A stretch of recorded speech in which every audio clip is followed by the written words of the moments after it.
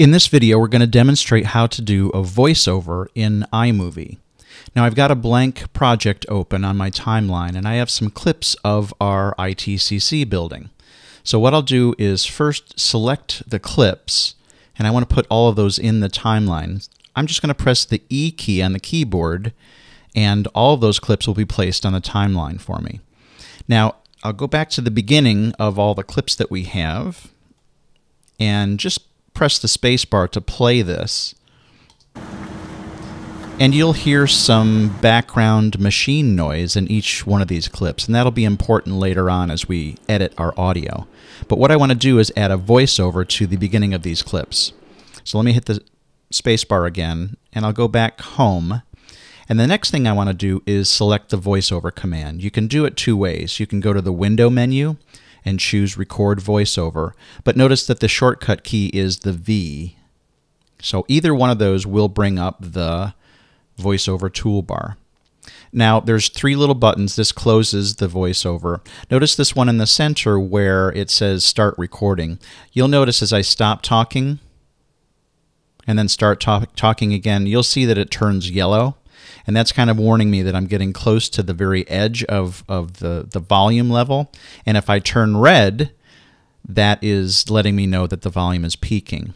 Now, for this particular setup, I don't have the iMovie controls to control my volume. It's actually a separate uh, device that I that I use to change the input volume. But this would be where you would change how loud your source audio is. In other words, your microphone. Okay, um, so we'll go in and we'll we'll back this down maybe just a little bit so that you don't see the peaking as much. Okay, so now we're in the green, kind of in the maybe a little bit in the yellow as we increase our voice, but this may be a little bit better choice for our voiceover. So in order to start recording, we just simply click this middle button and we will do a voiceover after a couple of seconds. We'll do a little countdown. This is the story of the Information and Technology Convergence Center. Okay, something really very simple.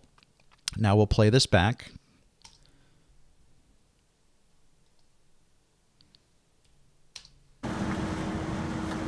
This is the story of the Information and Technology Convergence Center. Okay, nothing very fancy here. What we do notice though is that we have audio from the other sources. Okay, all these have a little uh, waveform, and this one's particularly loud. This beginning clip. So there's a couple of things that I can do. I can I can go in and actually reduce the volume of this if I want to keep that uh, you know machinery sound in the video or I can actually take out all of the audio from the clips. So I'm going to do that just to demonstrate it, but you can adjust the volumes of any of these clips to your liking relative to your voiceover. But let's select all of the video clips. So I'm just going to click down and drag out and lasso all of these. And then what I'll do is I'll right click on any one of them and choose detach audio. And now all of the audio clips that were associated with the video clips are now separate clips that I can delete as well. So I'm going to go and just select all of them. I'll hold down the command key to get these last two. And I'll hit the delete key on the keyboard. And now the audio from those original clips is gone. And so I'll go back to the beginning of my video and press play. This is the story of the Information and Technology Convergence Center.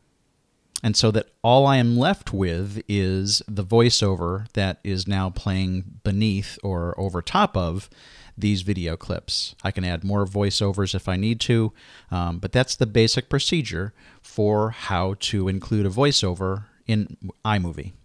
Thanks for watching.